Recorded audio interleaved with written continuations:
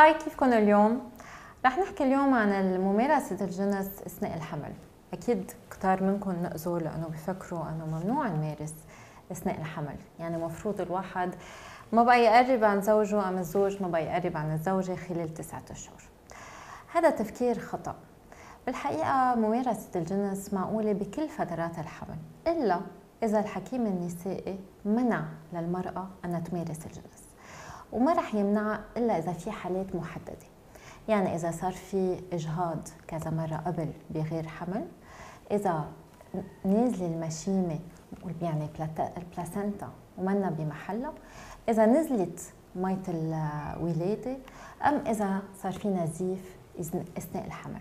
وكمان إذا الزوج عنده أمراض منتقلة جنسيا كرمال ما ينقل هالأمراض إلى زوجته.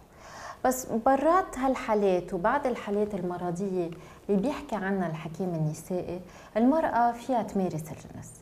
طبعا جسمها رح يكون مختلف. يعني أول ثلاثة أشهر بركي تلعى نفسها وبما إنه ملخبطة هرموناتها بركي ما يطلع عبالها تمارس ويكون في شوية نشاف بالمهبل يعني ما تتجاوب مزبوط إثناء الممارسة. بس ابتداء من ثالث شهر وخاصة حوالي رابع وخامس شهر رح يصير في تدفق دم بالأعضاء التناسلية. يعني أثناء الممارسة المرأة رح ترطب أكثر ورح تقدر تحس بلذة أكثر هالمرحلة كتير منيحة للممارسة الجنسية بين الزوجين لأنه المرأة رح يكون عندها أحاسيس كتير قوية وفيها تشعر كتير باللذة. خاصة أنه بهالمرحلة رح تكون بلشوا الأهل رح يكونوا بلشوا شافوا البيبي على الصورة الصوتية يعني شافوا شكله ارتاحوا ما بقى خايفين. من أول ثلاثة أشهر بيكونوا شوي خايفين إنه بركي أذوا البيبي. لا بس رح يبلشوا يشوفوا الجنين رح يرتاحوا ورح يقدروا يمارسوا الجنس بالشهر السابع والثامن طبعا المرأة رح يكون ثقل وزنها وبركي بعض الوضعيات ما تقدر تمارسهم يعني بدها تنتبه إنه ما يكون في إدخال كثير عميق كرمال ما تتضايق وما توجع.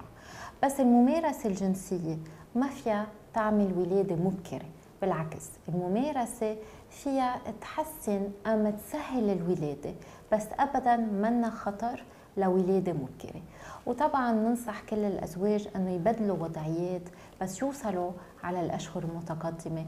يعني مثلا يجربوا وضعية الملائع بيكون الزوج ورا زوجته بيكونوا كل اثنيناتهم متلقحين على جنبهم. هذه الوضعية كتير فيها حنان وحب وكتير بتعطي متعة للزوجين. وطبعا لازم الزوجين يحكوا بالموضوع لأنه بعض النساء ما بيحبوا ممارسة الجنس أثناء الحمل. يعني لازم يحكوا بالموضوع وبعض الرجال ما بيحبوا ممارسة الجنس أثناء الحمل دونك الكلام والتواصل كتير مهم وإذا مش ما بدكم عم توجعوا مش مرتاحين ما تمتنعوا عن المداعبات وعن التبويس. لأنه إذا بعدوا الزوجين أثناء الحمل رح يكون صعب لهم أنه يرجعوا بعدين يتقربوا مع الولادة. وإذا مهتمين أنه تعرفوا أكثر عن الممارسات الجنسية حول الولادة تابعونا على شاشة وقناة الوليا وكمان تابعونا على my social media بالفيسبوك تويتر ويوتيوب bye bye.